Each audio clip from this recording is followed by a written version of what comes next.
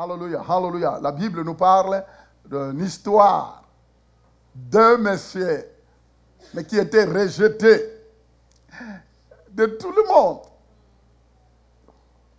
Un homme riche. Uh-huh. Collecteur d'impôts. Tout.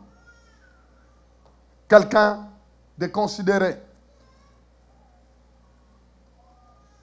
Vous savez, ce n'est pas tous qui aimeraient bien voir d'autres personnes être heureux. Vous êtes d'accord avec moi? Ce n'est pas tous qui seront euh, contents de ton succès. Que tu sois bien. Le diable ne sera pas content que tu sois en bonne santé. Le diable ne sera pas content que tu prospères, que tu sois bien dans ta vie. Non.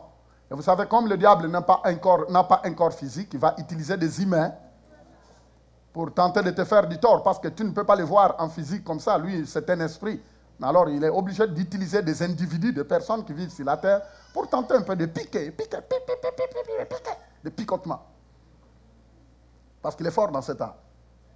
Alors, ici, nous voyons l'histoire qu'un jour, Jésus venait d'une ville, il allait dans une autre ville.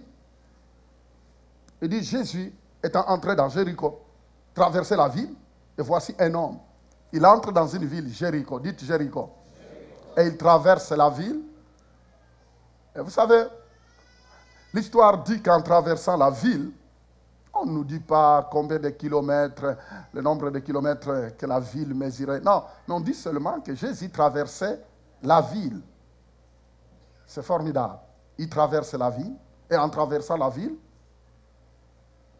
vous savez, à chaque moment que Jésus passait quelque part, il y avait des attroupements. Il y a des gens, d'autres qui criaient, Hosanna, le Fils de Dieu. Il est formidable cet homme que vous voyez. Nous avons entendu parler de tout ce qu'il fait. Nous avons appris qu'il a guéri des malades, qu'il a ressuscité des morts, qu'il a ouvert les yeux des aveugles, qu'il a fait marcher les paralytiques. Nous avons appris qu'il a purifié le lépreux. Oh, il est formidable. Alors la foule s'entassait quand Jésus passait. La foule la foule. Mais vous savez, quand on a quelque chose, on donne toujours ce qu'on a. Et quand Jésus passait, les gens savaient d'avance que cet homme avait quelque chose. Et c'est pourquoi il s'entassait le long de la route. Et la Bible dit qu'en traversant la ville, il y a eu un monsieur qui lui aussi, lui, il était riche. Il pouvait dire, qu'est-ce que j'ai à foutre avec ce Jésus-là Qu'est-ce que j'ai à voir avec ce monsieur-là? Moi, je suis riche et je suis en bonne santé. Certainement, j'ai le diplôme qu'il faut. Qu'est-ce que je vais aller chercher à ce monsieur-là? Il pouvait avoir cette attitude. J'ai à manger, j'ai un toit pour dormir, j'ai des serviteurs, et toutes les jolies femmes que je veux, je peux les avoir parce que j'ai l'argent. Si je vais déplacer, je déplacerai quand je veux et comme je veux parce que j'ai l'argent. C'est ça que cet homme pouvait dire. Et c'était le sens contraire. Ce monsieur-là, Zachée, un homme riche, publicain, la Bible dit qu'il a décidé d'aller voir qui? Jésus. Il a pris la décision, il voulait voir qui? Jésus. C'est formidable. Un homme riche, suffisant de lui-même, mais qui a pris la décision de voir Jésus.